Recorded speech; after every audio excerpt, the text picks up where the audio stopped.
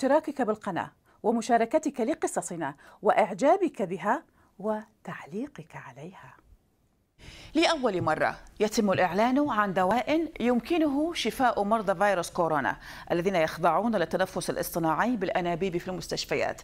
الآن يتم الحديث عن اختراق علمي فريد من نوعه أبطاله الباحثون في جامعة أكسفورد البريطانية. يجب الإشارة إلى أن هذا الدواء الذي لاقى ترحيبا عالميا لا يمكن إعطاؤه لأي شخص وفي أي ظرف لعلاج فيروس كورونا. هو في الحقيقة مخصص فقط لهذه الفئة من الناس التي الذين ترونهم. وهم الأشخاص الذين يعانون من مشكلات في التنفس. يوجدون في أسرة الإنعاش ومرتبطون بأجهزة التنفس الاصطناعي. هؤلاء بإمكانهم أخذ هذا الدواء الذي ثبتت فعاليته في إنقاذ حياتهم. هذا الدواء الذي تم التوصل إليه يسمى ديكساميثازون وهو عبارة عن سترويدز أي موسعات الشعب الهوائية استعمل في الحد من التهاب المفاصل. كما يستخدم لمنع الالتهابات حول أورام سرطان الدماغ. هذا الدواء معروف منذ عام 1958 لكنه لم يثبت أي فعالية لمرضى كوفيد 19 ممن يحملون الفيروس لكنهم يتنفسون بشكل طبيعي.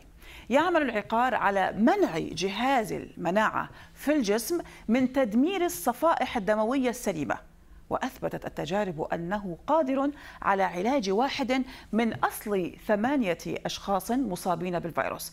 ولو استخدم في بريطانيا منذ بداية الوباء لكان أنقذ حياة ما يصل إلى نحو خمسة آلاف مصاب.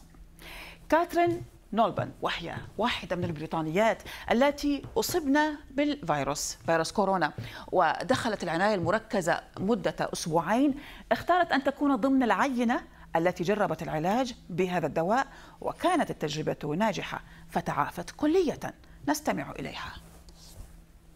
I feel just eternally grateful to the NHS, the researchers, and I couldn't have got through it without my husband. at the end of the day.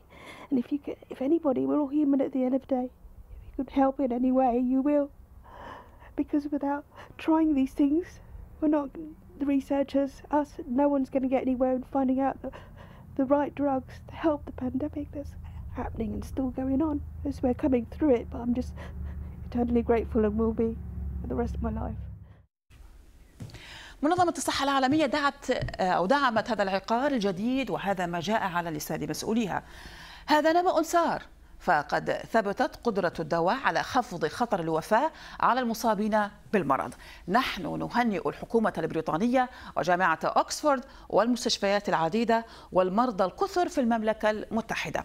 على الفور خرج بوريس جونسون رئيس الوزراء البريطاني وقال إن هذه النتائج المتوصل إليها مناسبة للاحتفاء أو مناسبة للاحتفاء بما وصل إليه العلماء البريطانيون. وفي أقل من 24 ساعة أعلنت الحكومة عن اعتماد ذلك الدواء في كل المستشفيات وأنه يوجد لديها مخزون يصل لنحو ربع مليون علبة منه.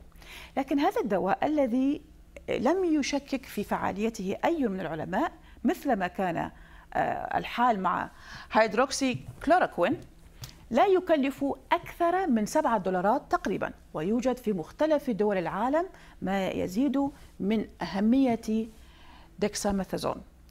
لكن في الحقيقة بدأ يستخدمه الفرنسيون منذ بداية انتشار فيروس كورونا.